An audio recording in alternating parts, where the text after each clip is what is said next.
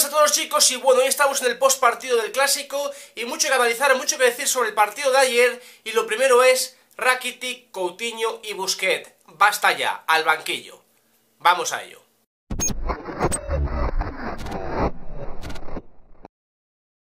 Bueno, pues ayer hubo clásico y como no, la alineación de Valverde fue un poco la esperada, aunque a mí me sorprendió que sacase a Semedo por Sergio Roberto, yo es lo que quería, finalmente Semedo lo hizo de maravilla, hizo un partidazo, fue de los mejores del Barcelona, pero también salió Coutinho otra vez, ¿qué hizo Coutinho? Nada, ¿Qué hizo Rakitic? Nada, fueron los dos peores del Barça con diferencia, aquí voy dejando alguna imagen, etcétera, y vais a ver, por ejemplo, las pérdidas que tuvieron, los pases mal dados, no han hecho prácticamente nada ayer bien. La verdad es que Rakitic dio a un palo, sí, pero no me sirve. Me da igual que le dé el palo, me da igual que marque un golazo, si luego hace lo que hizo ayer. El otro día contra Valencia dije, hizo un gran partido, porque había hecho un gran partido, había hecho un partido bastante aceptable, pero es que ayer, ayer fue lamentable. Ayer el medio campo del Madrid comió al del Barcelona y menos mal que estaba Arthur.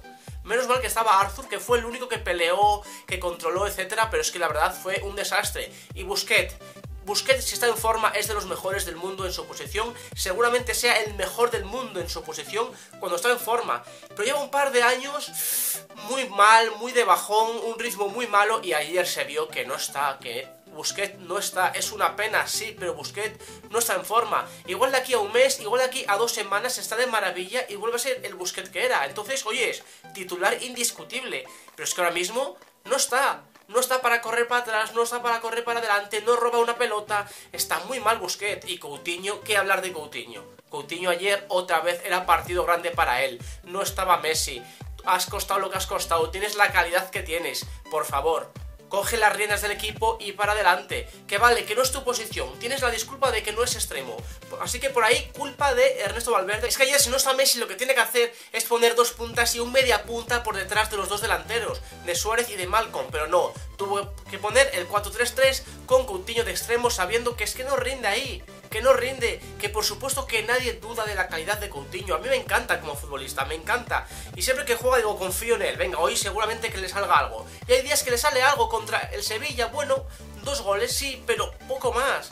No hace combinaciones, no hace paredes, no tira del carro, no se va de nadie y es lo que a mí me está sorprendiendo. Porque una cosa es que no estés en tu posición, que yo puedo entenderlo, que no esté cómodo, que no se adapte, que no se le dé bien, etc.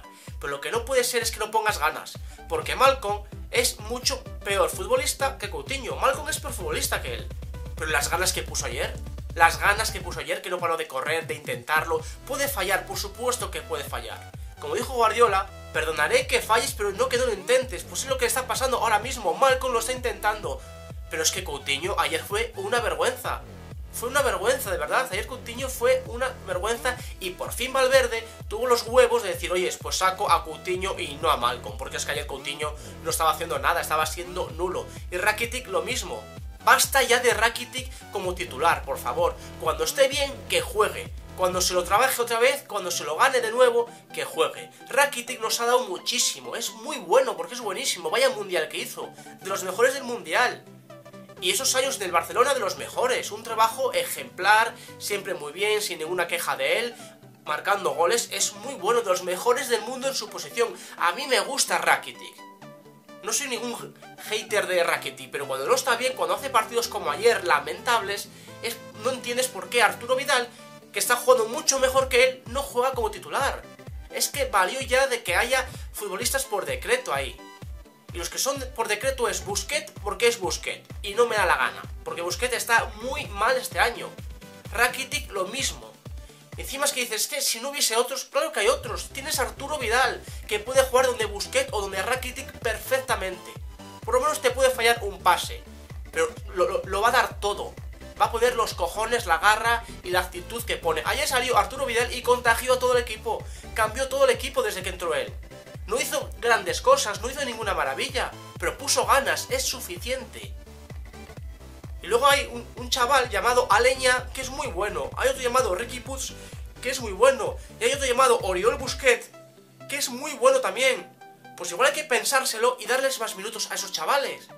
Porque Busquets y Rakitic ahora mismo no están, no están en forma, no tienen ritmo, o no tienen ganas, o no tienen, yo que sé que no tienen, pero es que ayer de verdad. Ya son varios partidos que no puede ser. Y es una temporada entera que quitando algún partido esporádico y algún gol que te pueda marcar Rakitic, parece que ya está. Y no, no lo arregla todo. Un gol o dos no lo arreglan todo. No, no puede ser así. Y Coutinho lo, más lo mismo. En Coutinho todavía confío en que algún día Valverde lo ponga en su posición, lo ponga de media punta, lo ponga de interior durante unos partidos y a, ver si rinde, porque de extremo no. De extremo no. Malcolm tiene que jugar por delante de Coutinho y es así. Me da igual que haya costado lo que haya costado. Tiene que jugar por delante de Coutinho, por lo menos de extremo.